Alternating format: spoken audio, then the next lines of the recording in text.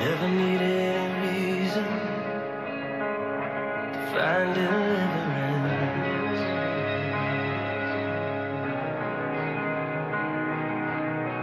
Like a cancer running through my.